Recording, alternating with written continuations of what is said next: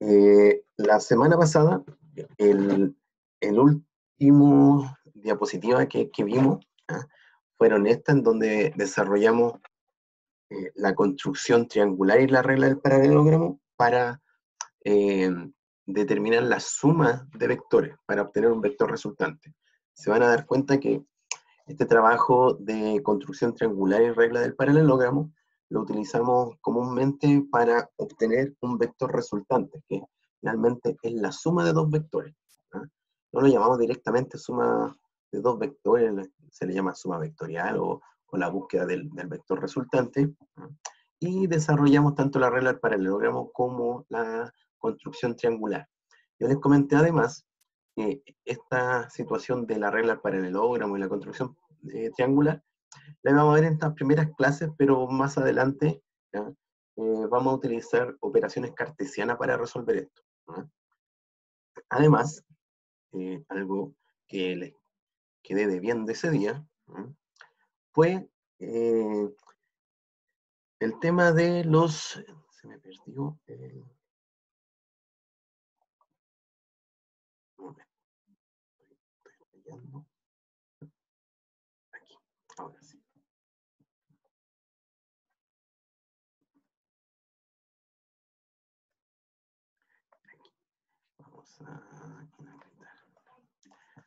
Ahora sí, puedo volver a ocupar esto ya, perfecto. No sé qué había pasado. Entonces, tenemos vectores unitarios. Eh, ese día, individuo podría representar un vector. ¿ah? Ese vector lo va a definir como una letra con sombra, pero ese vector va a estar acompañado de un escalar en primera instancia, y un escalar va a ser un número. Un número puede ser, por ejemplo, el 3, y a él lo va a acompañar un versor. Le llamamos versor a este itongo.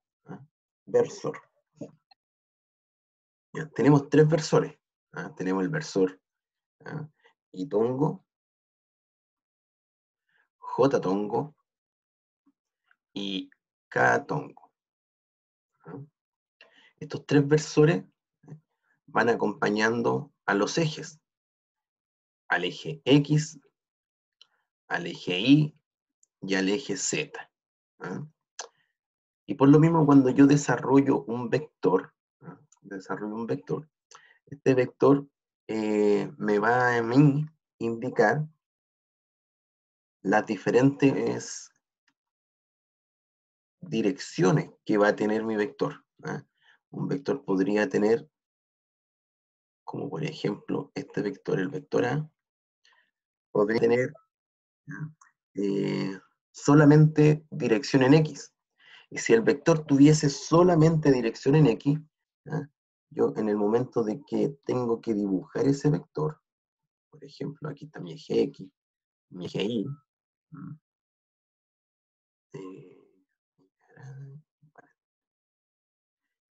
si yo tuviese que dibujar ese vector, el vector A, primero siempre tengo que indicar los ejes de referencia. Luego que tengo mi eje de referencia, digo, ya, mm, tengo que dibujar un vector. Ese vector me dice que tiene una magnitud de 3. ¿De 3 qué? Mm, pudiese ser, pudiese ser, eh, por ejemplo, por ejemplo, pudiese ser esto en metros, ¿ah? pudiese ser newton, ¿ah? etc. Newton metro, pulgada, ¿ah? puede ser cualquier tipo de esas unidades que le estoy comentando. ¿ok? Por lo mismo, nosotros vamos a tener que dibujar eh, este plano, nuestro vector A. Y el vector A entonces sería un vector cuya magnitud es igual a 3, 3 metros, 3 newton, 3 centímetros, 3 pulgadas, 3 libras. Pero lo otro que tengo que tener claro es, va a ser, en definitiva, este versor. Este versor a mí me indica que el vector A solamente tiene un, una dirección.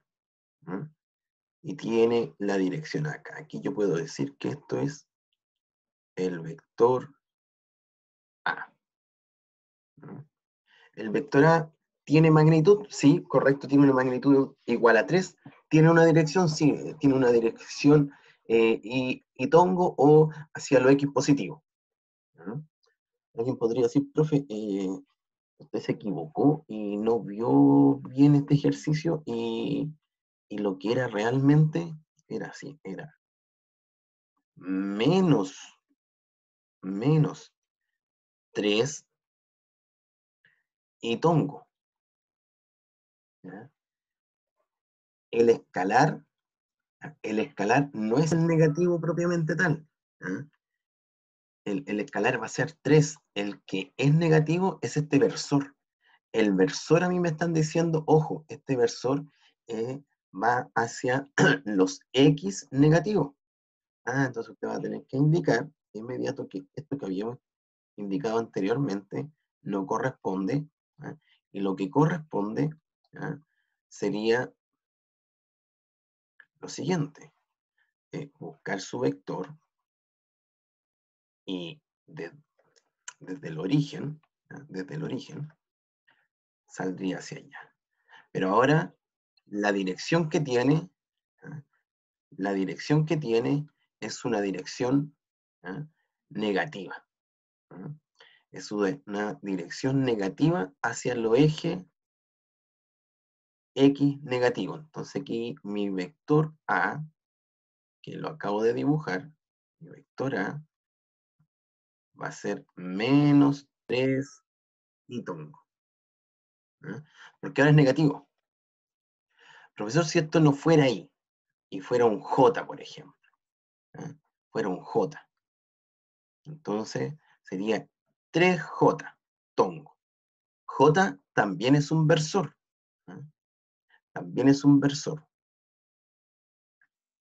También es un versor.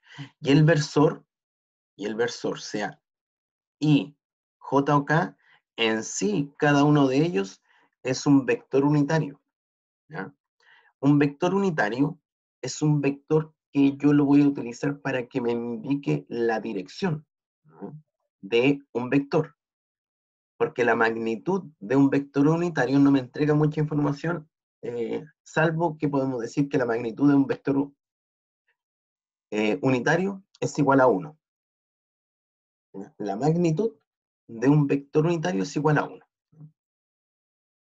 Por ende, este 3 podríamos decir que está multiplicando a un 1 es invisible, ya sí se podría decir, pero específicamente si a mí me dan esta indicación, este versor J, usted de inmediato ya asume, ya va a tener que asumir que mm, su vector, su vector, en este caso, lo va a tener que describir como un vector que nace en el origen y va hacia arriba. ¿Va hacia arriba hasta cuándo? Hasta llegar a los 3 metros, 3 newton, 3 pulgadas. Pero lo importante, aparte de esa información que usted ya tiene, que al indicarle que tiene un J versor, usted ya sabe que el vector A, el vector A va a ser 3J, un vector que va hacia los I positivos. Se puede dar el siguiente caso también.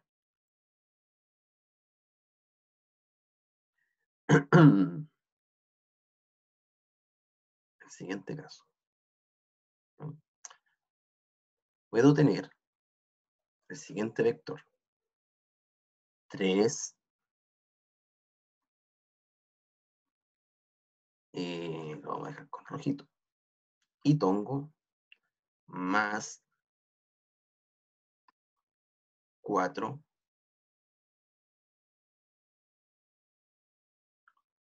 eh, J tongo, disculpen, porque estamos todavía en el plano. J tongo. ¿Ok? ¿Qué significa eso? Bueno, lo que significa eso que el vector que van a ser en el origen, acá en el 0, 0, ese vector, de alguna manera, usted va a tener que decir que va a avanzar tres espacios hacia el eje X positivo. ¿Por qué? Porque el versor es positivo. En este caso, no hay un negativo, por ende puedo decir que el versor eh, me da una dirección a mí positiva, o sea, hacia los X positivos. Recuerde, y tongo asociado al eje X. ¿Qué habíamos dicho del J tongo? Ah, profesores, está asociado al eje Y. Por ende, veo si es positivo o negativo, en este caso positivo, y avanzo hacia arriba. 1, 2, 3, 4. Y busco la intersección de estos dos. Casi como una regla en paralelogramo. Y en esa intersección, usted va a indicar, bueno, acá está mi vector A. Mi vector A. Que es un vector, que es un vector que tiene 3 y tongo más 4 j tongo. Y ahí usted, la primera pregunta que me haría, me diría, profesor, entonces, el U vector que era el vector unitario, que en algunos libros lo utilizan como U y otros libros utilizan como una E, por eso yo indico los dos. Estos son los vectores unitarios. Vector unitario. Entonces, profesor, el vector unitario, ¿cómo lo puedo obtener de acá?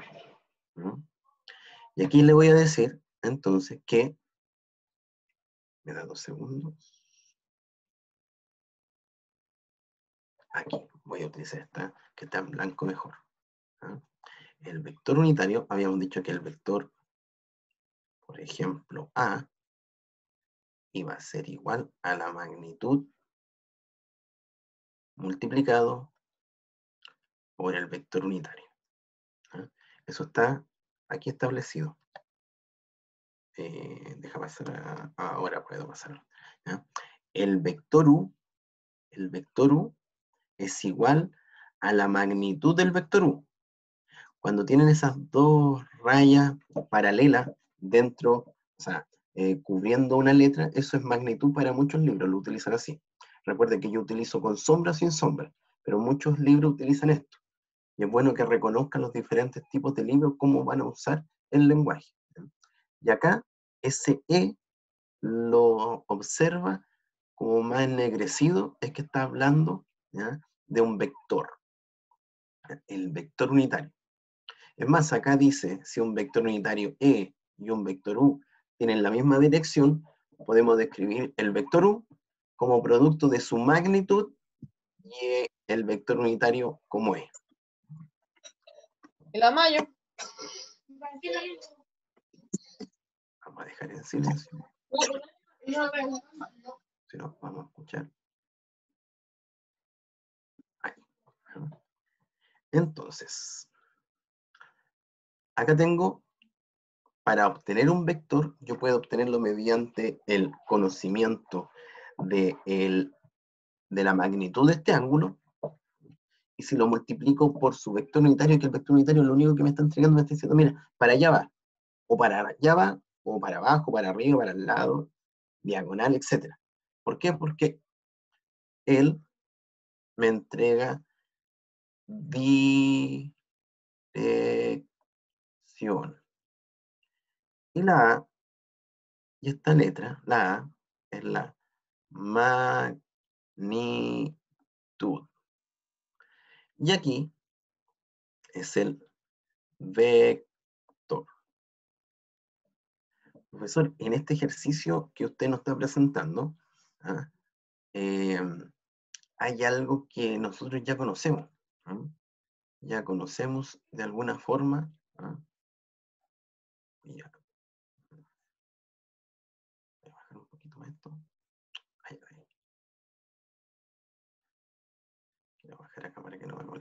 Arriba. Ahí sí. Esa es la dirección. Esta es la magnitud. Ahí sí. Entonces, aquí ya conocemos, en este caso, estamos ok con, la, con el vector. aquí está el vector. Eh, la dirección y la magnitud no la conozco. No la conozco. Pero la magnitud, la magnitud de un vector, la magnitud de un vector se puede obtener de la siguiente manera. De cualquier vector, muchachos, yo saco la raíz cuadrada, la raíz cuadrada de la primera componente al cuadrado más la segunda componente al cuadrado. Aquí tendría 9, aquí tendría 16, 16 más 9 ah, me da 25. La raíz cuadrada de 25, bueno, la raíz cuadrada de 25 es 5. Por ende, si acá nosotros como vector hubiésemos tenido metro, el resultado de su magnitud sería 5 metros. ¿Qué significa eso en sí, en, el mismo gráfico que observo acá? Significa que el largo de este vector, el largo de este vector son 5 metros. ¿no? Profesor, usted se equivocó y no eran metros, eran newton. Ah, entonces newton son 5 newton. Significa que la magnitud de fuerza de este vector son 5 newton. Independiente la unidad que está acá se va a trabajar de la misma forma. Entonces, ya tenemos de esa manera eh, la magnitud del vector. Entonces, con eso, esto lo voy a borrar porque ya no nos sirve. Sabemos que los libros identifican como vector unitario, lo identifican U, como U, con esa sombrita, o como E. Así lo describen la mayoría de los libros, como U o como E, para que lo tenga claro. Ahora, teniendo la magnitud, conozco el vector, tengo que encontrar solamente la dirección. Entonces, de aquí, yo puedo despejar, puedo despejar esa dirección, ese vector unitario. Eso es lo que voy a hacer, voy a despejar el vector unitario. ¿Y cómo lo despejo? Bueno, voy a tener que el vector unitario, a ah, me quedé faltó la sombra, no eso, me es igual a nuestro vector, nuestro vector dividido por la magnitud de ese vector. ¿Por qué? Porque esta magnitud que está multiplicando al, al vector unitario, ¿ya? Pasa dividiendo. Pasa dividiendo al otro lado. Por ende aquí tendría esto. Ah. Eh, entonces, dice, profe, entonces tenemos que dividir un vector. Correcto, los vectores se pueden dividir. Tendríamos E igual a 3 y tongo más 4 J tongo. Ese es nuestro vector, el vector A. Ahí está, el vector A, el vector A. La magnitud, ah, la magnitud es 5, eso. Entonces el vector unitario quedaría de la siguiente manera. 3 dividido 5, creo que es, no, nos da 0,6. 0,6. ¿Qué estoy dividiendo ahí? Estoy dividiendo el escalar, pero el escalar de la componente X o la componente que acompaña el versor Y. Estoy diciendo 3 dividido 5. No estoy dividiendo Y dividido 5. Estoy apuntando solamente a este escalar. 3 dividido 5. Y por lo mismo, como no se vio influenciado en esta división ese itongo, mantengo el itongo. Itongo. Itongo. ¿ah? Más, ahí dice clarito más. Entonces, más. 4 dividido 5 porque ese 5 está dividiendo a todo el vector, o sea, divide a cada uno de los componentes. Si este vector hubiese estado en el espacio, hubiese tenido probablemente tres componentes, y tongo, j tongo, k. Bueno, ese 5 tendría que haber dividido a la componente x, haber dividido a la componente y, y debió haber dividido a la componente z. ¿Ok? Y si desarrollo la división de 4 dividido 5, me da el valor de 0,8. 0,8. Y mantengo, ¿ah? y mantengo el J tongo. J tongo, J tongo. Y tongo, y tongo. ¿ah? Y muchachos, como estoy pidiendo un vector unitario, un vector unitario, necesariamente cuando hablo de un vector, tiene que venir sí o sí con itongo, o con j-tongo, o con k-tongo, o una combinación de ellos. ¿eh? ¿Pueden estar los tres? Sí, correcto, pueden estar los tres. J-tongo, k-tongo y j-tongo. No en ese orden. Itongo, j-tongo, k-tongo. Entonces, así vamos a ir teniendo un vector unitario que nos va a ayudar mucho más adelante. ¿ah? Más adelante, yo creo que ya mañana lo vamos a utilizar en su plenitud. Entonces, ahora me daré el tiempo de leer lo que indica acá. El vector unitario es simplemente un vector cuya magnitud es igual a 1. Un vector unitario especifica la dirección entonces se recuerda ese 0,6 y tongo más 0,8 j tongo, eso me está dando una dirección a mí. ¿ah? Permite expresar en forma conveniente un vector que tiene una dirección particular.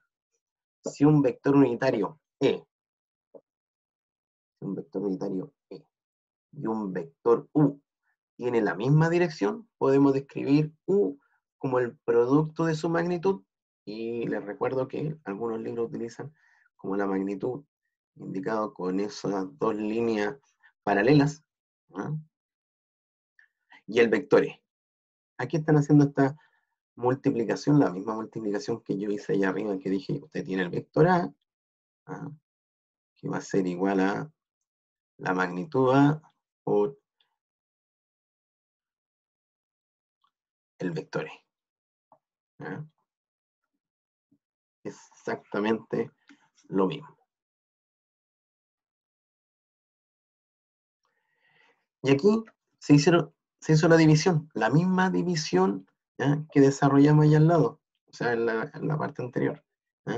E, yo ya he dicho, bueno, es el vector, es el vector dividido por su magnitud. Ahí está. Lo mismo que aquí, es vemos que al dividir cualquier vector, cualquier vector por su magnitud, se obtiene un vector unitario con la misma dirección. Acá tengo, tengo mi vector U, que inicia en este punto y termina acá, tiene esa dirección, y esto es su magnitud, este es el valor, el valor de cuántos metros o la cantidad de fuerza, etc. Y el vector unitario está acá, en el interior. Es más, yo podría decir que el vector unitario está aquí, con otro color.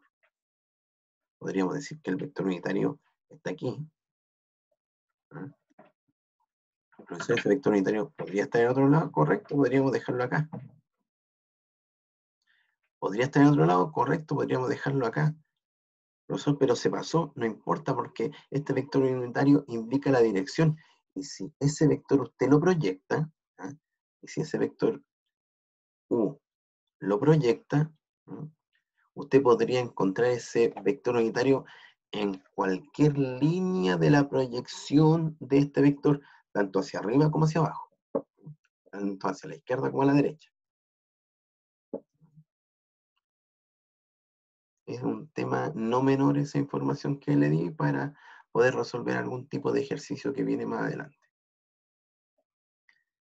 Eh, recuerden la ley del seno, recuerden la ley del coseno. La ley del seno me indica que para cualquier tipo de triángulo,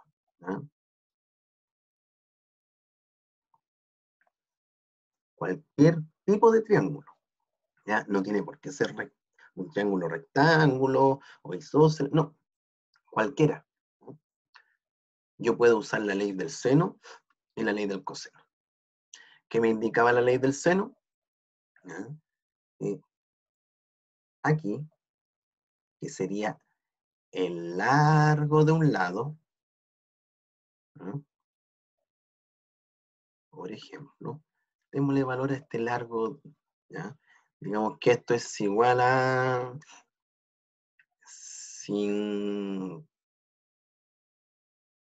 sin, 52. 52. 52 aquí la disponible para poder hacer algunos cálculos. Y ve que es otro lado, que es otro lado, que es otro lado, me dice que es de 76. A, no me entregan el valor de A, no me entregan el valor de B y me dicen que C, que es un ángulo, es de 140 grados. Para mí es una incógnita C. Es una incógnita C. Para mí es una incógnita el ángulo B y es una incógnita el ángulo A. ¿ah? Tengo tres incógnitas. Y aquí, muchachos, en este ejercicio usted tiene que ver con qué va a empezar, con la ley del seno o la ley del coseno. Quizá al principio podría equivocarse y comenzar con, algo. ¿ah? Em, y se podría caer. Ahí podría decir, pucha, no, no vuelvo, no, no, no, encuentro este resultado, pero si no encuentra avance, después se va con la ley del coseno. Entonces, imagínense que usted dice, ya voy a usar la ley del seno. A, ley del seno. Aquí obviamente era mejor usar esta, pero vamos a a partir desde, por ejemplo, nos hayamos equivocado. ¿Qué tengo? Tengo que A, profesor, A ya no es A, ahora es 52. Bueno, ponemos 52 dividido por el seno del ángulo que de alguna manera me proyecta este lado A. Y ese es esa proyección. Entonces lo que tenemos que poner acá es el seno de A, o vamos a llamarlo alfa, para diferenciar entre A y A minúscula, alfa. Pero sabemos que este va a ser alfa. Igual, aquí tengo una incógnita, ojo, una incógnita. Me dice que después ocupe B. Ah, profe, B ya lo tiene. Es 76 menos 76 dividido por el seno ah, del lado del ángulo que proyecta al lado B. O sea, ese profesor. Perfecto. Sería entonces el seno de B. Pero vamos a decir el seno de beta. Eh, aquí, una ecuación. Tengo una ecuación. Tengo dos incógnitas. No puedo resolver nada con esto. solamente dejaría uno en función de otro. Así que no nos sirve esa de todavía. Ah, eh, igual, el lado C.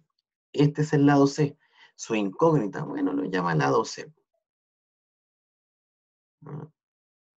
Dividido por el ángulo que lo proyecta, S.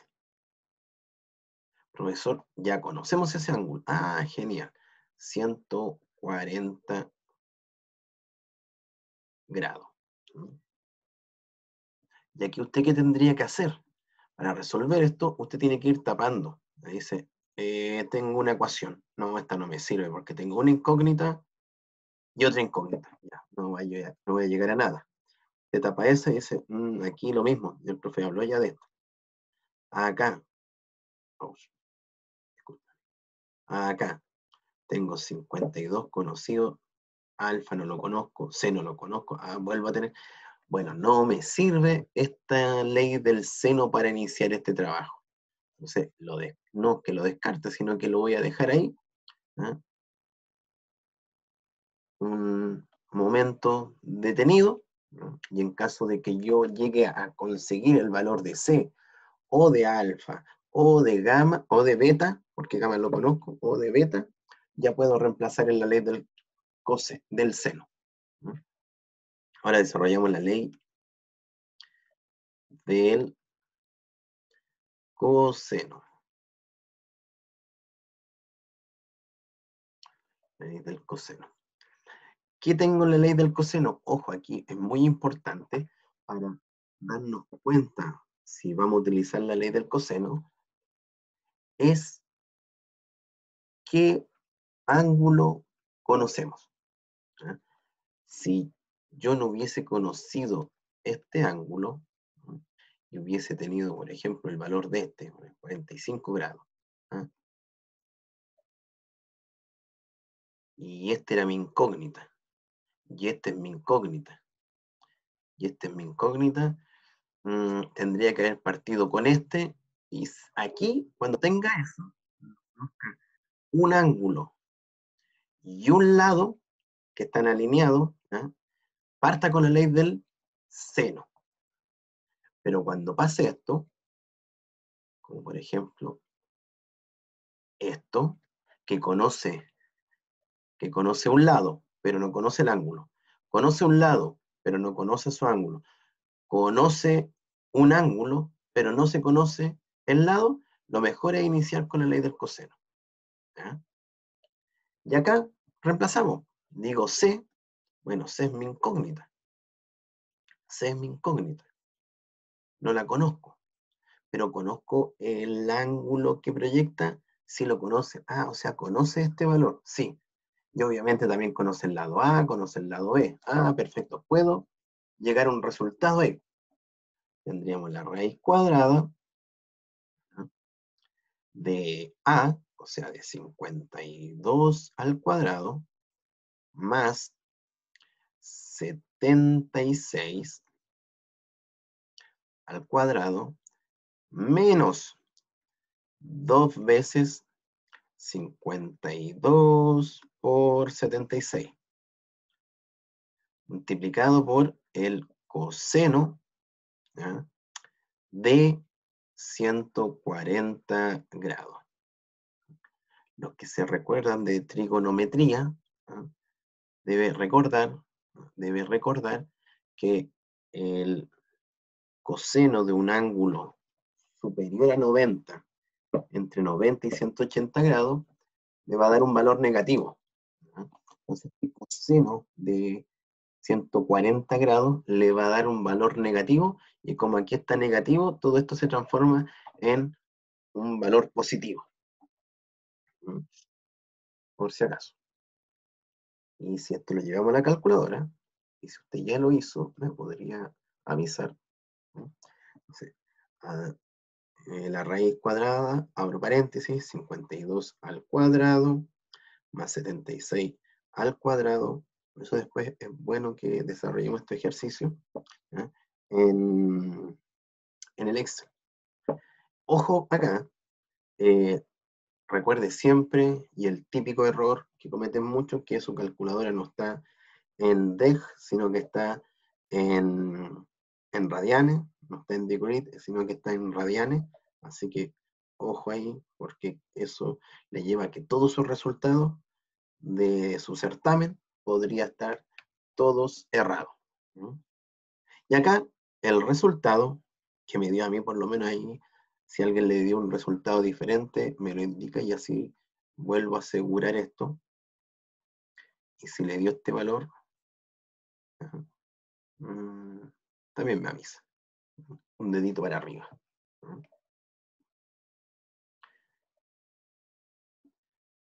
Entonces,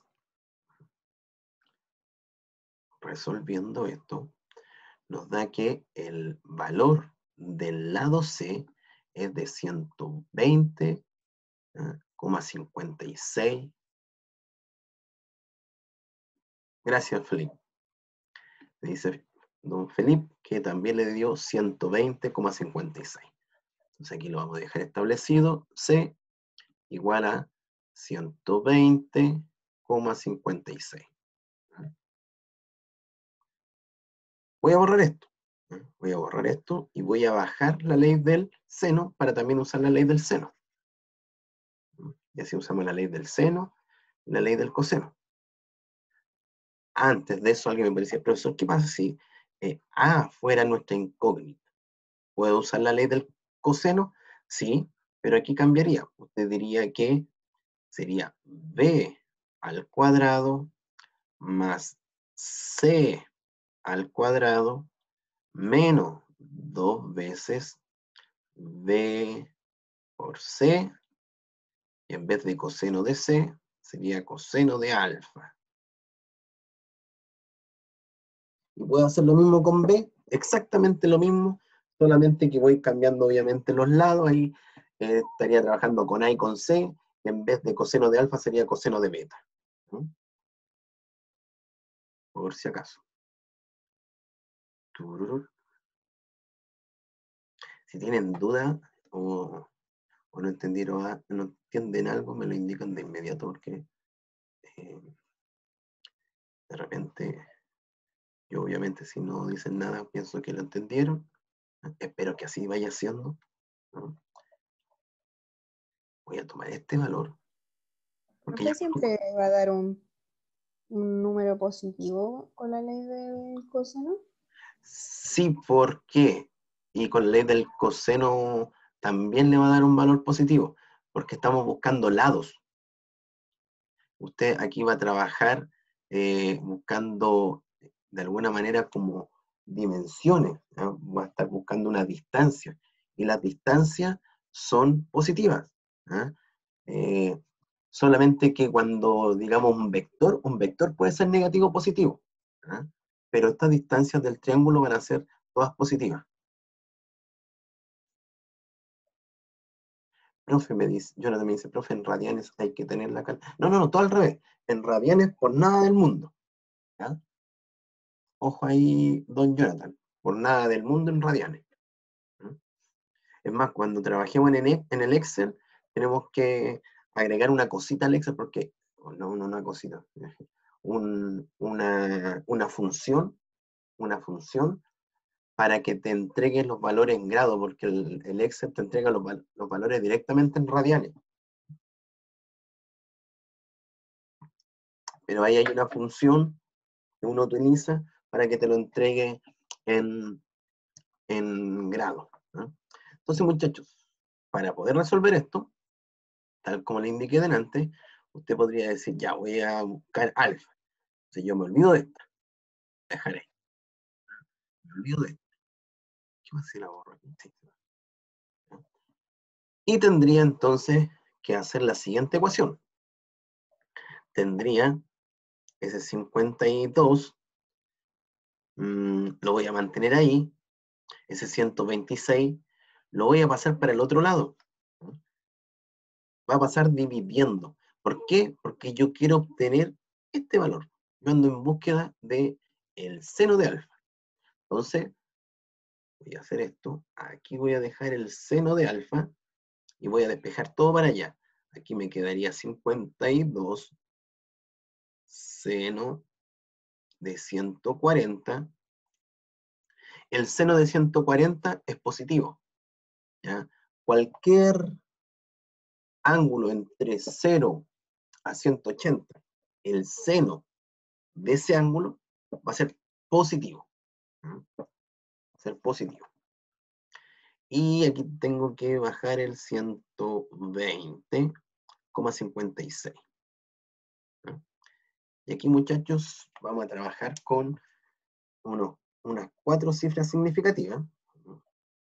Así que tendríamos 52 multiplicado por el seno. Reviso nuevamente mi calculadora. Don Jonathan, si mal no recuerdo, sí, don Jonathan Zamora. Reviso la calculadora, veo que está en DEJ. Sería 52 por 100 seno de 140. Cierro paréntesis y divido, y divido, divido, divido, divido, aquí está dividido, 120 punto, 120.56. Y el resultado que me dio es 0,277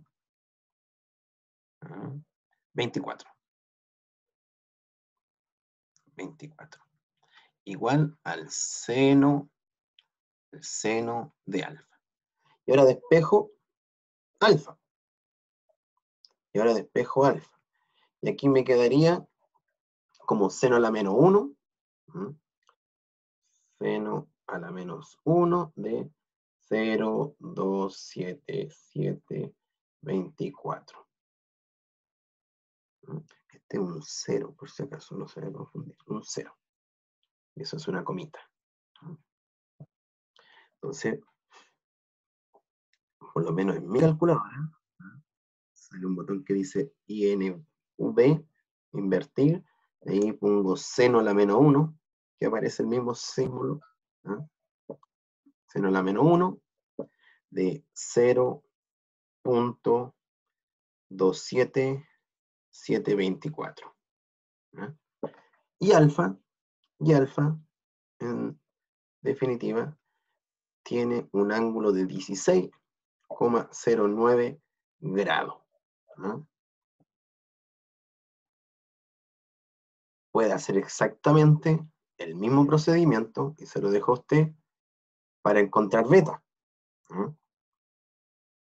Más lo voy a hacer despejándolo de inmediato. Nosotros ahí tendríamos 76 por el el seno de 140 dividido 120.56 a este valor, eh, a este valor le saco el seno a la menos 1 de 0.4052. 0.40, 0.40, 40, 52. Y beta más menos, beta, el resultado de beta es de 23,9. Alguien podría decirme, profe, mejor, eh, en vez de volver a hacer el, esta, esta, eh, este, esta ecuación, y en estar despejando, sacando 0 a la menos 1, ponga 180 menos 120.56. No, no, no, no, no, no. Disculpe, no es 120 menos 86, es este, 140. Son los ángulos, 140 y le resta los 16 también, punto 09. Y ahí el resultado es el mismo. ¿Por qué? Porque recuerde, la suma de todos los ángulos al interior de un triángulo es 180. Si usted suma todos los ángulos internos de un triángulo, le va a dar 180.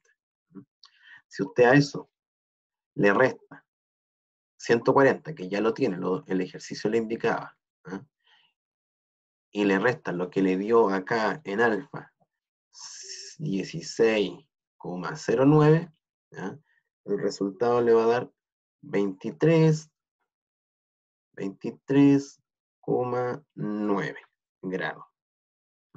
Que justamente este valor de beta, que es justamente el valor que yo lo había obtenido despejando esto. No va a llegar al mismo resultado, obviamente.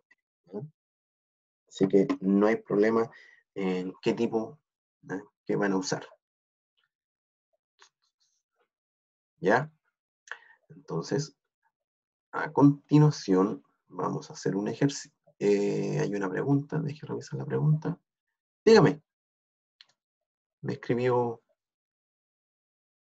la pregunta me decía, ¿cómo puedo cambiar la calculadora? Ah, ¿cómo puede cambiar la calculadora?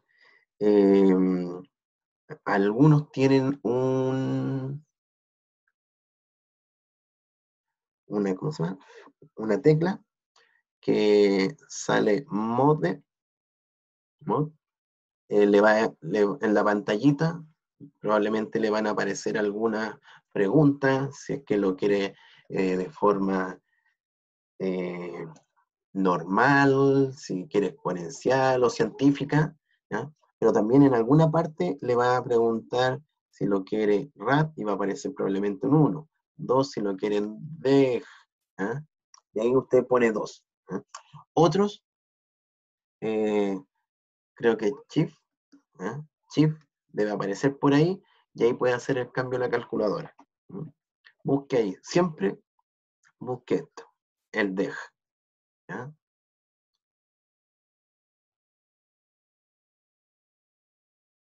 Y si no lo encuentra, busque la, la, marca de su calculadora y en YouTube está todo. Ah, lo, lo encontré muy bien. Genial. Entonces aquí tenemos dos ejercicios. Eh, tal como se los comenté, vamos a hacer estos ejercicios en un Excel. Entonces, voy a... ¿Cómo puedo mover esto para que no me moleste? Aquí voy a correr esto para acá. No me moleste igual. Aquí, por aquí no molesta tanto. Eh, voy a sacarle una foto a la pantalla. Y voy a dejar de compartir voy a abrir un Excel, Excel.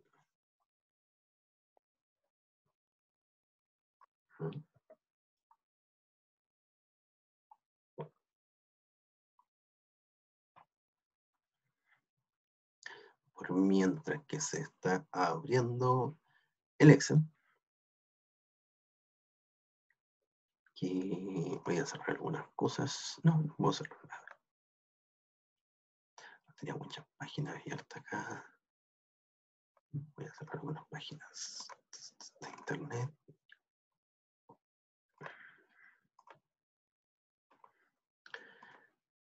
Ahora se abrió. Excelente. Y pego lo que había traído. Por mientras comparto el Excel para ustedes.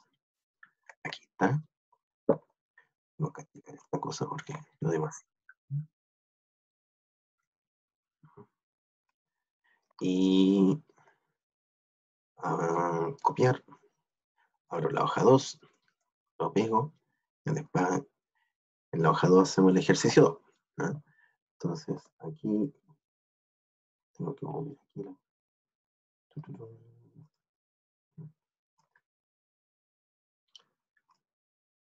dejarlo acá. Aquí.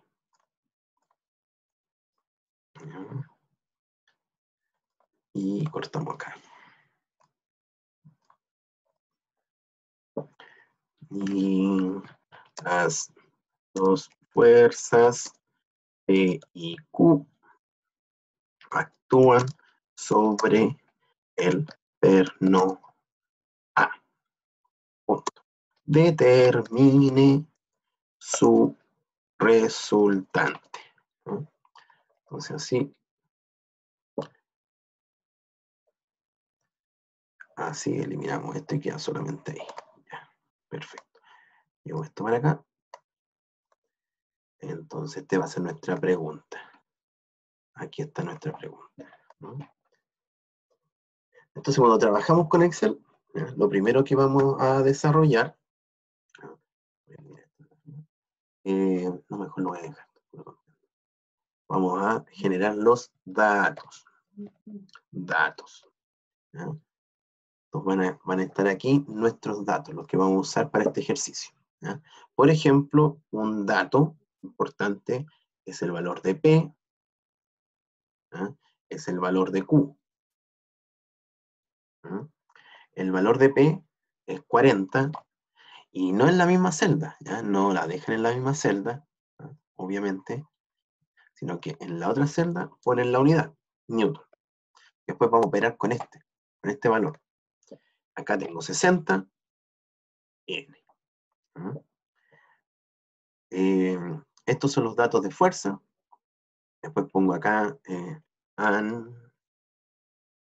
ángulos. ¿ah? Tengo el primer ángulo ¿ah? de 20, ¿ah? de 20 grados, igual. Y aquí pongo 25 grados. Ojo que probablemente vamos a usar más la suma de 20 más 25 para hablar del ángulo que acompaña a Q. Pero ahí pongo después 20 más 25. O si no, usted que dice, ¿sabe qué? Dejemos al tiro, hagamos una suma y nos ponemos acá. Entonces aquí voy a poner como una referencia que este es el ángulo con respecto al valor de P. Y este es el ángulo con respecto al valor de Q.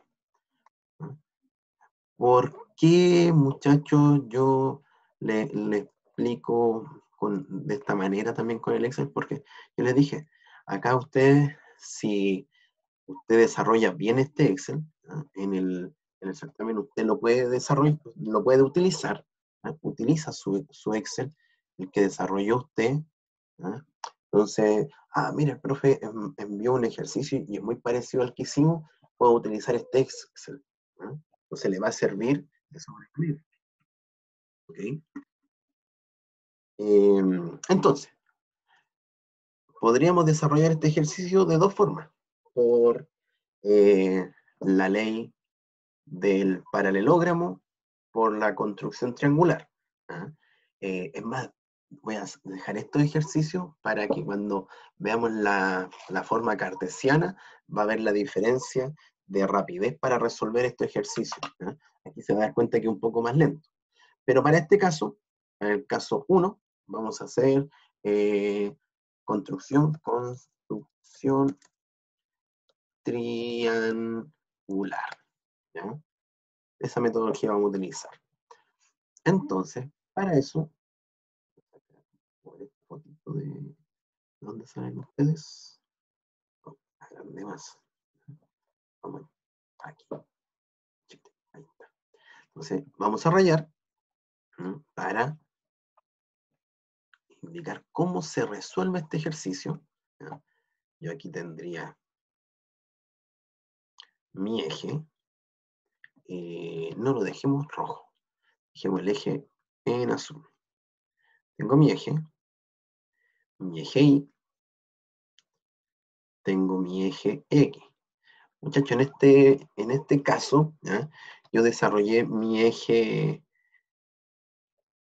mis ejes, dándole más espacio al primer cuadrante, porque yo sé que la resultante va a ir en este cuadrante, porque si tengo los dos vectores que están actuando en este cuadrante, lo lógico es que el vector resultante esté en este mismo cuadrante. Es más, yo aquí ya podría decir que el vector resultante va a estar por aquí, ¿ah? más cercano a Q. ¿Por qué más cercano a Q? Porque el valor de Q es más alto que el valor de P, como vector. ¿Ok? Solamente por eso.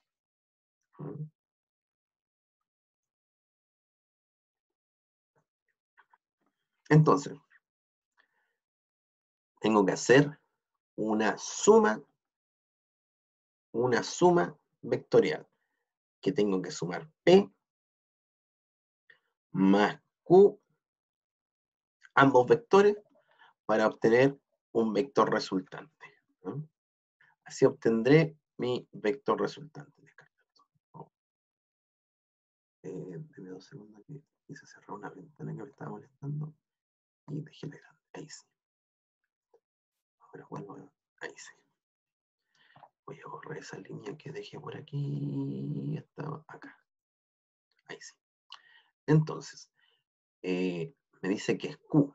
O sea, primero es P. Entonces vengo eh, recuerde que el ángulo que se forma acá en el eje X, entre el eje X y el vector P, es apenas de 20 grados. Lo voy a dibujar aquí. 20 grados. ¿Ah? Ahí está. De 20 grados y una magnitud de 40. ¿ah? ¿Qué nos decía la construcción triangular? ¿Ah? No sé por qué se borró aquí, estaba, decía construcción triangular, parece la, la pasé a llevar. Construcción triangular. ¿Ya? Entonces, voy a dar algunas indicaciones de esto. Sé que una magnitud es de 40, 40 newton. Eh, el otro aquí es de 20 grados. De 20 grados. Eh, habíamos dicho que este era, voy a dejarlo como P.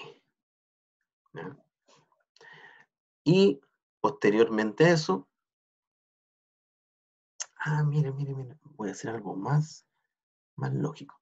Me voy a tomar desde aquí mismo, voy a hacer esto, voy a tomar acá el vector P, y como puedo arrastrarlo, lo arrastro, y me queda más preciso.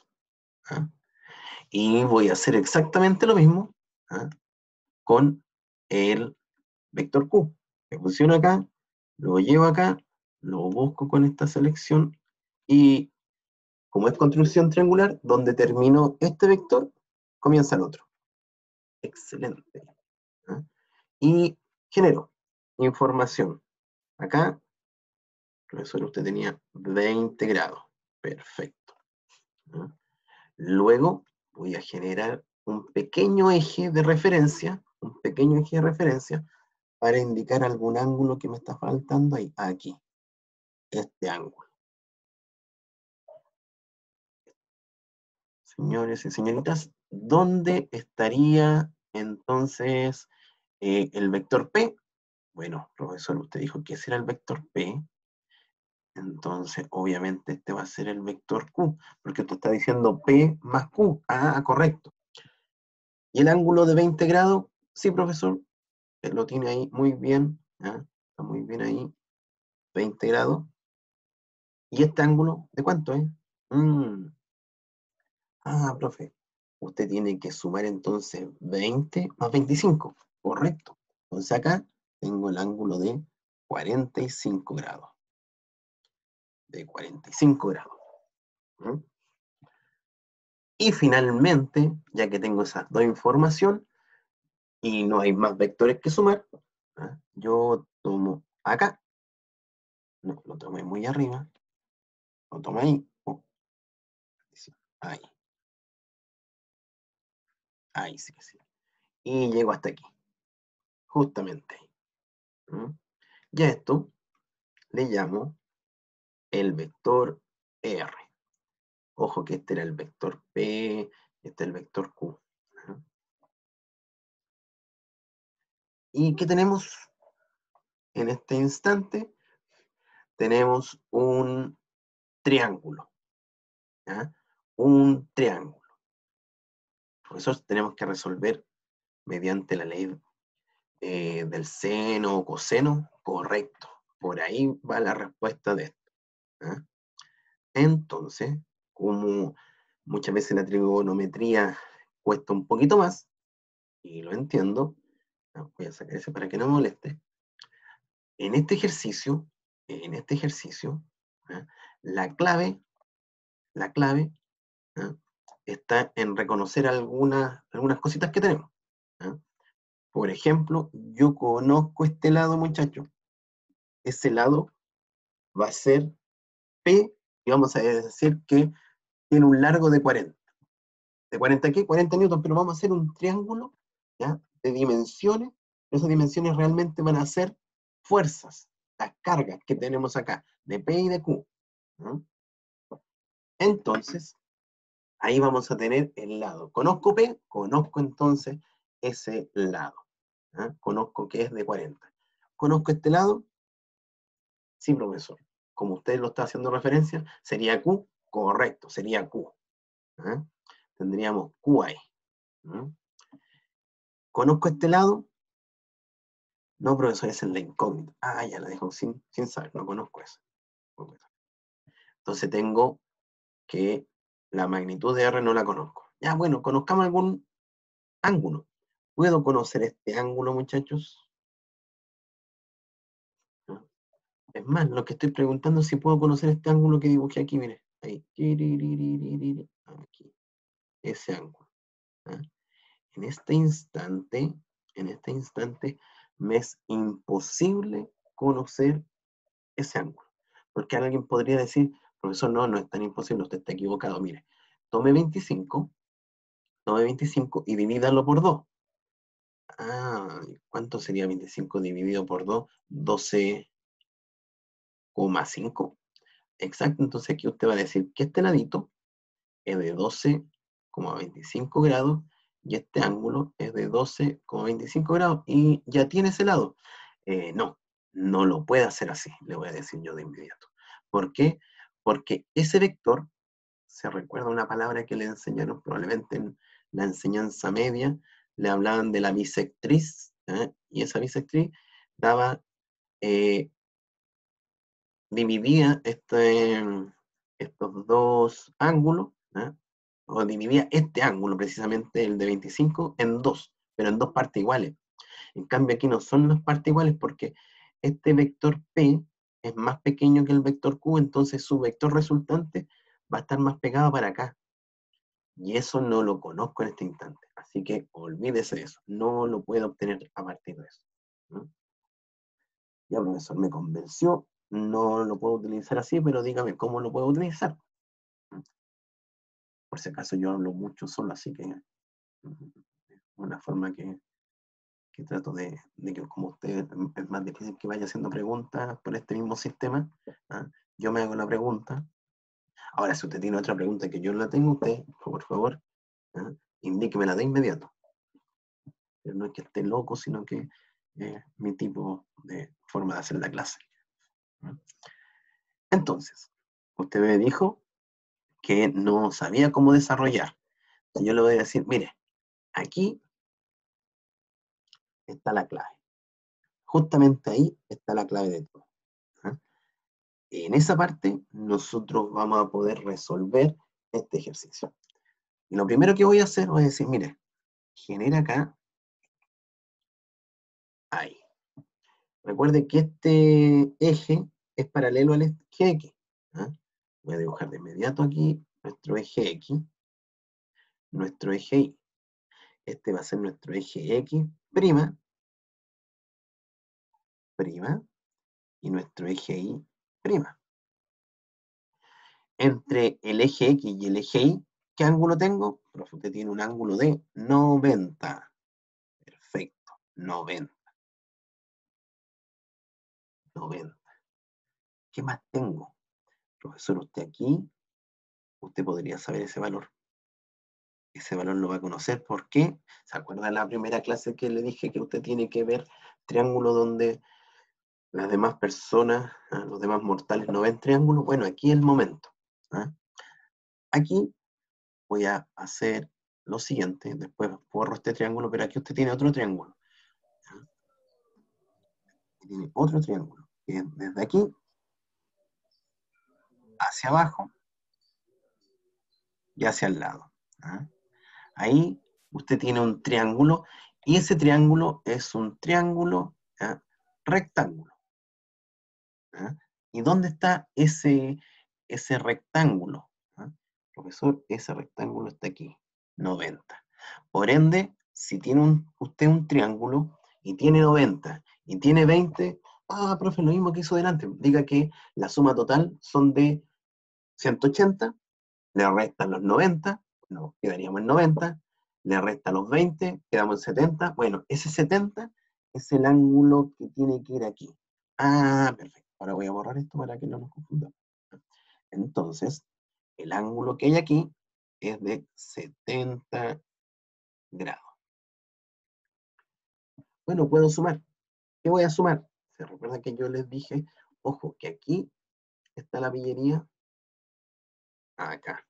Ahí está la pillería de todo para resolver esto. Bueno, diga 45 eh, más... Ah. Estoy entiendo, sí. Por algo lo estamos haciendo en Excel. ¿ah? Hagámoslo en Excel. Digamos acá. Tengo una función. Tengo los 45, mm, que es este valor. Recuerden que ese ángulo más, más, más, más los 70. Y ese 70, profesor, ese 70, usted lo puede declarar como los 90 grados que le faltaban menos este ángulo de 20. ¿Por qué lo hago así? Porque en caso de que usted vea este ejercicio, lo tenga, y hay un ejercicio muy parecido, en vez de 20, sea 40, o en vez de 20 sea 32, ah, solito se va a cambiar. ¿ah? ¿Qué me está faltando aquí? Más 90. Justamente este ángulo que está acá. Ese 90 menos F7, que es ese 20, está dando este ángulo. Y el resultado son 205. Entonces, muchachos, vamos a dar un valor, una letrita acá, y a este le vamos a llamar gamma. Gamma.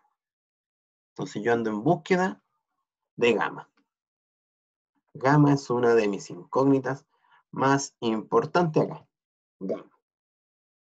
¿Cómo obtengo gamma? Profe, usted hizo como un círculo. ¿eh? Yo recuerdo en la escuela que en algún momento me dijeron de un círculo unitario. Si yo iba de aquí para acá, tenía 90. Si yo iba de aquí para acá, tenía 180. Uf, tenía 180. Si yo iba de aquí para acá, tenía 270. Y si daba la vuelta completa, era de 360. ¿ah? Es más típico cuando alguien dice, no, si esta vez sí que me pego un cambio, me voy a pegar un cambio de 360 grados. Oye, ¿cómo se va a volver al mismo lugar? No, exactamente. Cuando decimos una vuelta de 360 grados, es que estamos dando la vuelta completa. Quedamos en el mismo lugar. O sea, ese personaje no va a cambiar, va a seguir siendo el mismo. Así que no le creas. Está tratando de engañar. ¿Y cómo borro ese puntito? Ya, después lo borro. Entonces, tendríamos 360 menos este. Esa era la suma de 45, de 90 y 70. Perfecto. Y como les dije, imagínense que un ejercicio ese 20 fuera 15. Bueno, 15. ¿Qué pasaría ahí? Cambia al tiro. ¿ah? Entonces, volvamos atrás.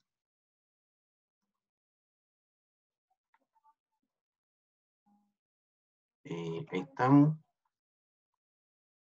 90, perfecto. ¿Se cambió cuando hice el cambio? A ver, 10. ¿Por qué no está cambiando?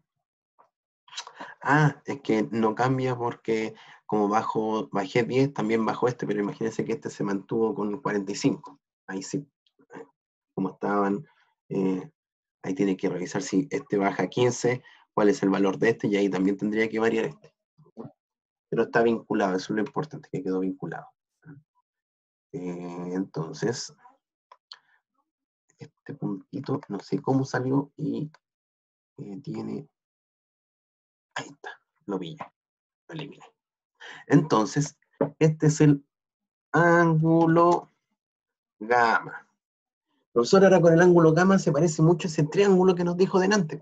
Ese triángulo que, que, nos comentó que tenía la ley del seno y la ley del coseno. Correcto. Y aquí, ¿qué tenemos? Conozco lado. Es más, voy a hacer este triángulo afuera para que quede más claro. Vamos a hacer un triángulo. Vamos a hacer un triángulo mm, tratando de que se parezca. Entonces tengo ahí R. Voy a tratar de exagerar un poco estos lados para que sea más fácil de observar. Ahí, ese, lado, ese triángulo tenemos. ¿ah? ¿Y qué lados conozco? Conozco este que era de 60. Conozco este que era de 40. Profesor, usted conoce este ángulo de 155. Perfecto. Y esto no lo conoce. No, hay que buscarlo. Eh, alfa no lo conoce. ¿Lo necesita? Lo vamos a necesitar, ¿sabes? ¿Para qué lo vamos a necesitar? Para eh, darle la dirección, porque vamos a decir que el resultado de, este nuevo vector, de este vector resultante, tiene una magnitud de x y tiene una dirección d. ¿ah? Y eso le vamos a indicar el ángulo para encontrar la dirección. Entonces tenemos este triangulito. Si alguien tiene mala memoria, este sería el lado A, este sería el lado B y este sería el lado C, en nuestro triángulo que vimos anteriormente. Entonces, ahora ya solucionar esto digo R, de eso. ley del coseno. Coseno. ¿Qué tenemos acá? Em, recuerde, tanto su calculadora, su calculadora, R igual. No voy a dejar más acá este R, a este lado, para que se entregue de inmediato el resultado. ¿Qué tenemos acá? Em, R igual, habíamos dicho, ah, deme dos segundos para que quede más claro, porque usted va a ver de repente solamente anotación aquí, y R sería la raíz cuadrada de 40 al cuadrado más 60 al cuadrado menos 2 veces por 40 por 60 y por coseno de gamma de 55. ¿Ya? Eso es lo que tenemos. Y esto que tengo acá, tengo que plantearlo aquí, en mi Excel. Entonces, volvemos. Profesor. Dígame. Antes que avance, ¿podría cliquear el 205 y 155? El 155. Me quedé atrasado ahí. ¿Ahí? Sí. Ya. Este, ese valor me da la suma de este ángulo de 45, me está dando la suma de 90, ahí está el 90, este F9 es 45, y este 90 menos F7 es ese ángulo de 70 grados. ¿ah? ¿Por qué? Porque eh, en caso de que cambie este valor, ¿ah? va a quedar ajustado de inmediato. Ese 70 lo sacamos porque aquí yo tengo un triángulo rectángulo con un ángulo de 90 grados, conocíamos este lado de 20, y entonces dijimos, bueno, ya tengo 90, tengo 20, ¿cuánto me falta para llegar a 180? Me falta 70. Eso es 70. Aunque alguien se confundió y dice, profe, no entiendo eso, bueno, ese valor es 70. Así de simple. Y esto, y esto es 360, que es la suma del ángulo completo, menos el ángulo completo asociado a, este, aquí partiríamos, estamos haciendo esto, aquí, 90, 180, 270, 360. Eso mismo, pero acá estoy haciendo esto. ¿Ya? Entonces, ese 155 va a ser 360 menos el resultado que me dio acá arriba. De ahí viene. Entonces, para la ley del coseno, tengo que llevar esta ecuación que está acá al Excel. Entonces parte con una raíz. Entonces, raíz, ahí está, la raíz. Me dice, devuelve la raíz cuadrada de un número. Perfecto, eso es lo que busco, la raíz cuadrada. Y ahora paréntesis, y a mí me gusta asegurarme y siempre trabajo con otro paréntesis más, por si acaso. Total, después cierro dos veces, así que no hay problema. Me dice que el primer lado es 40, pero profesor, no ponga 40 usted aquí, porque usted tiene esa información aquí y usted dijo que la quería que quedara todo vinculado. Ah, verdad. Pongo ese valor.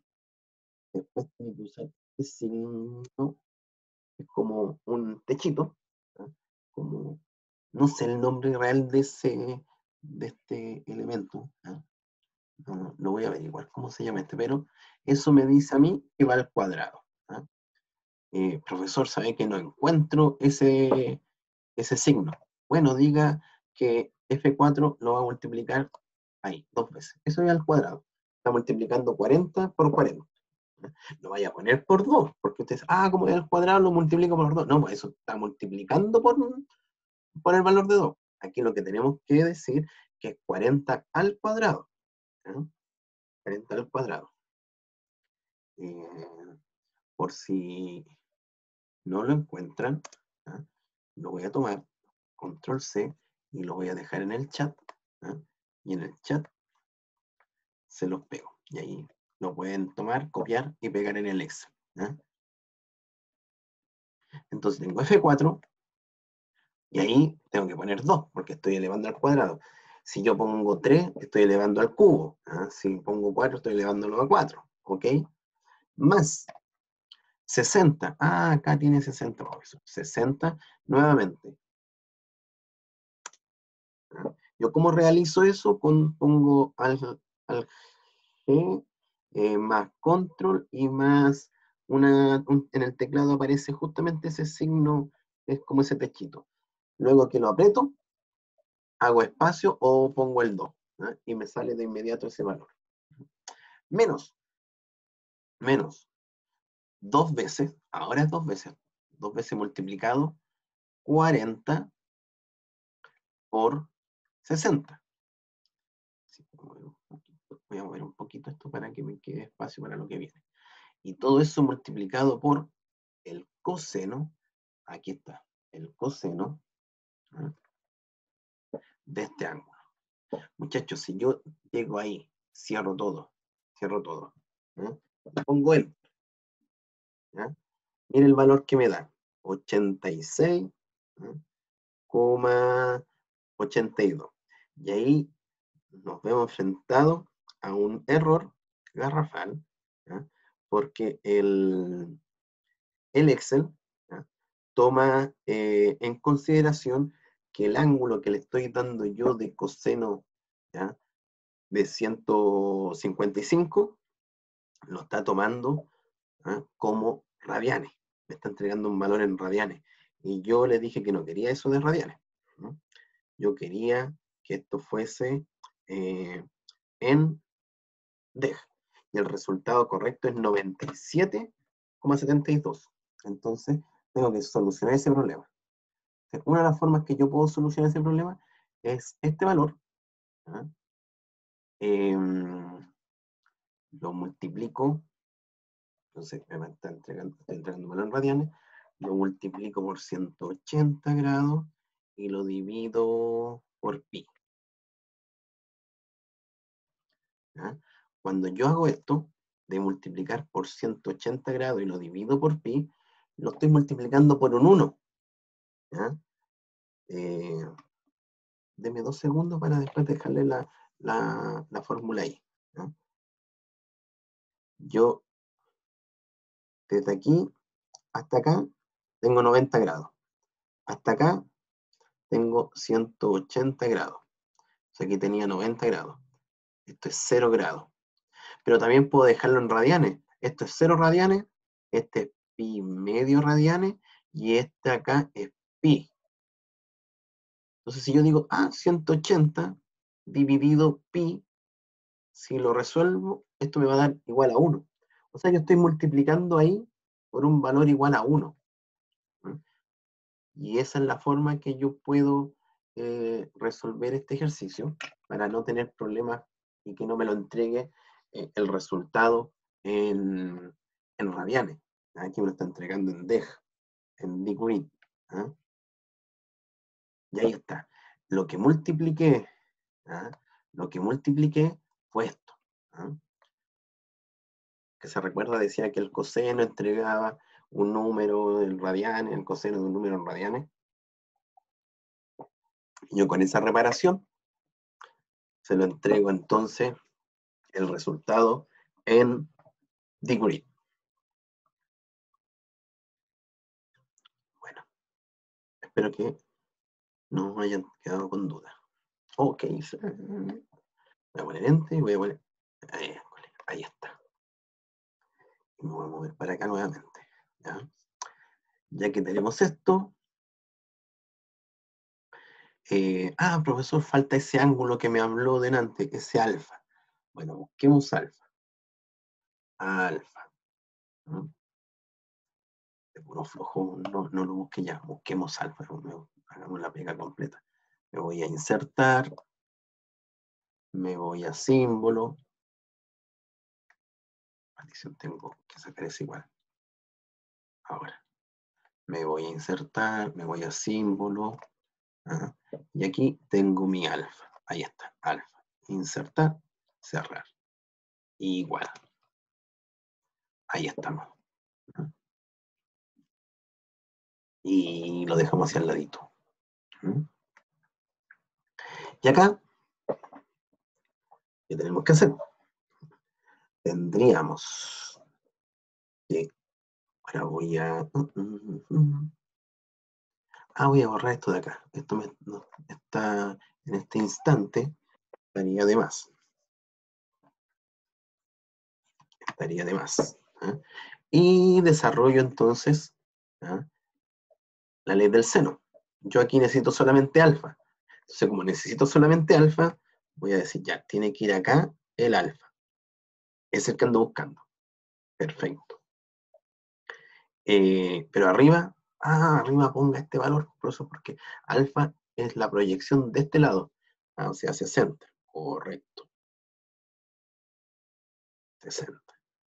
Igual. Busque un lado y un ángulo que conozca, no, no, se ponga a, utilizar este si este no lo conoce. Usted conoce ese, ah, perfecto. como conozco eso, digo seno de 155. ¿Y cuál es su lado? Ah, R. R usted ya lo tiene, profesor. Usted sabe que es 97,72 en este caso. Y ahora lo llevamos acá. Eh, lo más fácil, en primer lugar, es de, encontrar, por ejemplo, el seno. Lo primero que vamos a hacer va a ser el seno de alfa. ¿Y cómo encuentro el seno de alfa? Despejando. Despejo esto. ¿Y cómo despejo esto? Digo, ah, bueno, primero le va a quedar el 60, 60. Si busco 60 acá. Va a tener que multiplicar por el seno de 155, porque este seno 55 se va a ir para allá. Porque este seno de alfa se va a ir para acá. Ese despeje es lo que estamos haciendo. Se pone seno. Aquí se pone seno. ¿ah? Seno de 155 pero no voy a poner 155, sino que voy a ir a buscar este ángulo que le llamamos el ángulo gamma, que ya lo tenemos. Profe, recuerde, multiplique por 180 y divídalo por pi. Y en Excel uno pone pi, así lo escribe y lo cierra en paréntesis. Em, entonces, nos faltaría que todo esto quedara dividido por 97,72. Ah, el resultado que nos dio anteriormente. Ahí está. Entonces, recuerde confirmarlo con su calculadora para que eh, se fije si los valores que usted está tomando en Excel fue necesario agregar ese 120 dividido por pi. A medida que usted va avanzando, se va a ir dando cuenta que ya maneja de que nunca se olvida de poner esos valores. En este caso ya nos está dando un valor exacto. Pero ahora necesito, voy a copiar este, control C, control V.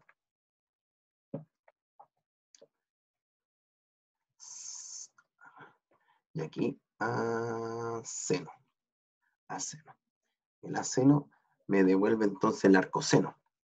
El arcoseno de este valor. Pero, ojo, aquí también tengo que, vamos, seno de 0,2596. ¿ah? Aquí lo mismo. Yo estoy dando solamente este valor. Otra forma, muchachos, recuerda que aquí estoy entregando un número para el, para el sistema, para el Excel, estoy entregando un número en, en, radianes. Otra fórmula es que yo aquí adelante de las de la seno, que me entrega el arco seno, o sea, el seno de la menos 1, yo puedo poner grados. Y cierro con paréntesis. Y me da el valor en grado. Tenemos esas dos opciones. Multiplicamos por pi dividido, o sea, por 180 dividido por pi, o ponemos antes, ¿ah? ante el grado. Hay consulta. Sí, este es el último ejercicio, Camilo. Así que puede, puede ya retirarse, ya terminamos. Eh, vaya nomás a la otra clase. Entonces, recuerde, tenemos acá, yo en este caso utilicé 180 por pi, y lo que yo, no, yo aquí no estaba buscando el seno, yo no estaba buscando el seno de alfa, sino que estaba buscando alfa. Entonces después dije, ah, para obtener alfa, alfa eh, despejo el seno, seno a la menos 1. Y en este sistema, en el Excel, se utiliza el A seno, el A seno, que está aquí. Él me entrega entonces el inverso del seno. Pero, como quiero que me lo entregue en grado, y no en radianes, le agregué grado adelante. O si no, hubiese tenido que multiplicar acá ese N8 por 180 dividido por pi.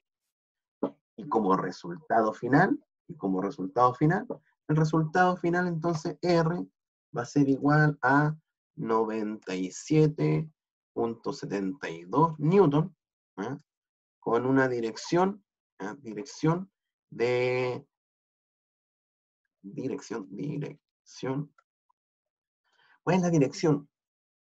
Ah, profe, eh, ponga los 15, ojo, no es solamente los 15, esos 15 es el ángulo que está aquí, ¿ah? hay que sumarle, hay que sumarle hay que sumar, hay que sumar estos 20 grados. ¿ah?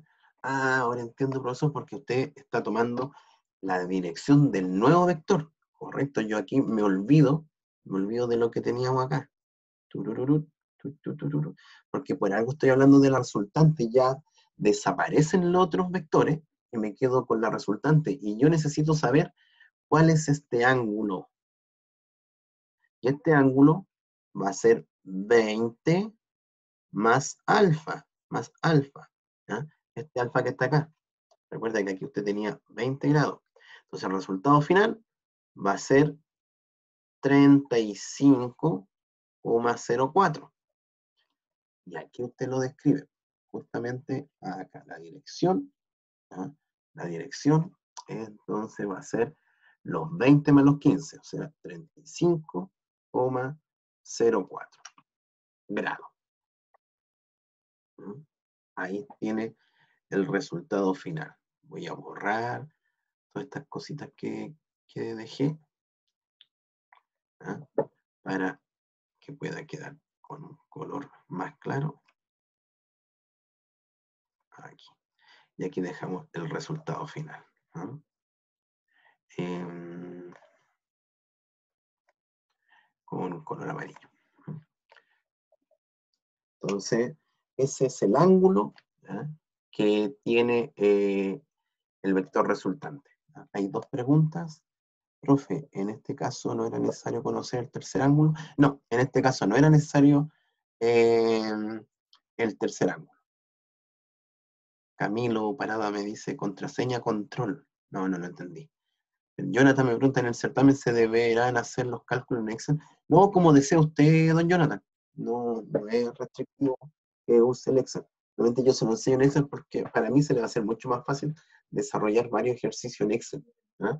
Por un tema de que ya no va en, que usted se vaya a equivocar en poner un dedo en la calculadora, es como usted da mayor visibilidad del desarrollo, porque te indica de inmediato eh, qué, ecuación.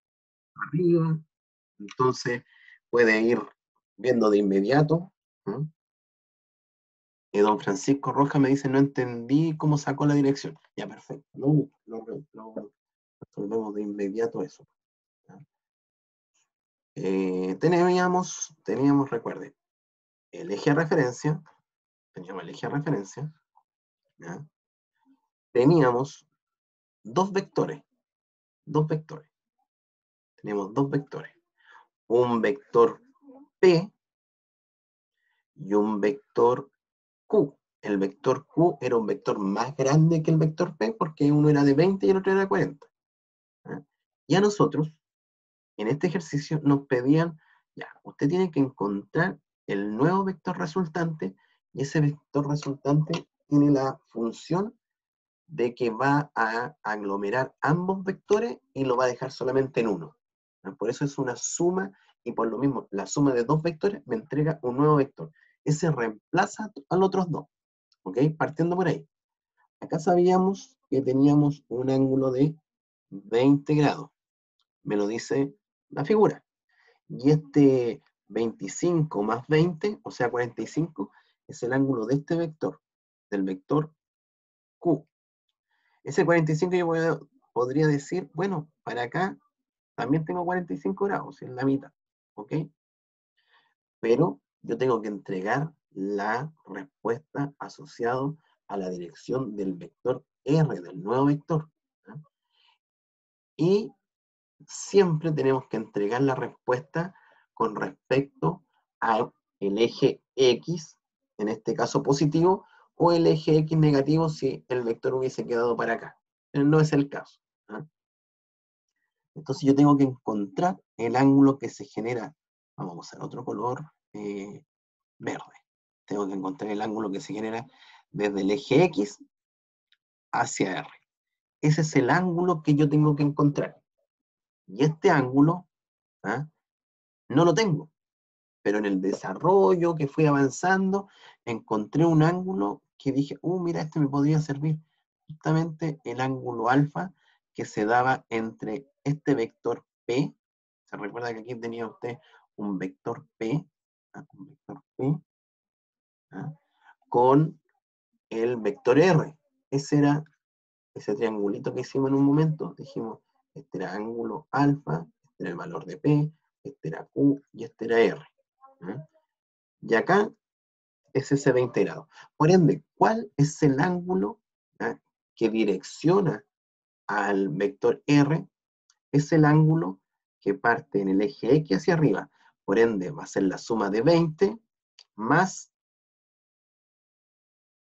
15,04. Por lo mismo, el resultado que yo indique acá va a ser 20 más 15,04. ¿Lo entendió un poquito mejor, don Francisco? Perfecto. Ahí sí entendió Scarlett, ahí sí entendió Francisco. Ahí, para eso estamos. Normalmente en la primera no, se entiende muy bien porque están como pendientes de ver las ecuaciones, pero después una vez que se lo vuelva a explicar, ya les queda más claro. Así que... Ahí en el seno eh, dividió por 180 en el Excel. Eh, dejé borrar todas estas notaciones. ¿En qué seno? ¿Acá? ¿En esta? Eh, sí. Para encontrar este o para encontrar este. ¿El primero o el segundo? Para encontrar el primero. ¿Esto? sí. sí, ahí lo hice por el seno de pi. la notación, la notación, recuerde que habíamos dicho que en un lado era 60, seno de alfa, y en el otro lado iba a ser 97,72 dividido por el seno de 155 que no había dado. Entonces yo despejé en primer lugar esto. ¿Cómo quedó al despejar? Bueno, el seno pasó para allá, quedó solito, ahí está, quedó solito este 97 pasa para acá, y ese seno de 55 pasa para arriba. Por lo mismo aquí, F5, ah, F5, profesor, ah, F5 es 60, perfecto. Lo multipliqué, lo multipliqué por el seno de M4, ah, M4, 55. Pero como el Excel me entrega un resultado en radianes, yo tengo que hacer el cambio para desarrollarlo como eh, eh, degree, Entonces, ahí está. Un momentito, inmediatamente, inmediatamente. Y luego, y luego lo dividí por este 97, que era el resultado que nos había dado anteriormente en la ley del coseno. Dígame. Profe, ¿y ahí no podría poner al principio grado o también? Sí, eso también ¿También? quería preguntarle. Sí, Em. Antes, después de la multiplicación del F5. No, aquí, aquí, Antes, al principio. Al principio se pondría. aquí, donde está el, Ahí. antes del seno. Ah, ok. Claro. Ahí lo tiene que desarrollar. Por ejemplo, grados, abro paréntesis y obviamente elimino esto.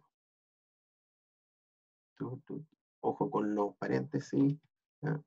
No, lo desarrollé mal. Pero sí, va, puede, puede utilizarlo este grado para que te entregue. Parece que tengo que dejar aquí todo, todo, todo en paréntesis. Mm, mm, mm. A ver, tome sí este sentido. A ver si me lo entrega desde acá afuera. No. No, no me permite, no sé por qué, no me permite, creo que lo estoy tomando en algún sentido errado, pero algo, algo estoy haciendo mal. Control Z. ¿ah? Control Z, control Z, control Z, aquí. ¿ah? Ahí voy a, voy a dejar para la próxima, ¿ya? que tienen que ir a la otra clase, en donde tienen que poner el grado en caso de utilizar esto. Normalmente, eh, si lo van a hacer así, dejen este al inicio, ¿ya? y después que le entregue ese valor, eh, lo multiplican por todo lo demás y todo lo que viene. No lo mezclen todo ahí, ahí empiezan esos errores. Como acá, aquí quedó solo, pero si yo multiplico acá, podría hasta sumar, puedo sumarle los 20 grados más que faltaban, por ejemplo. Ahí no hay problema. Si es que el problema es que aquí debería haber partido con el grado. ¿Ya muchachos? Vamos a detener.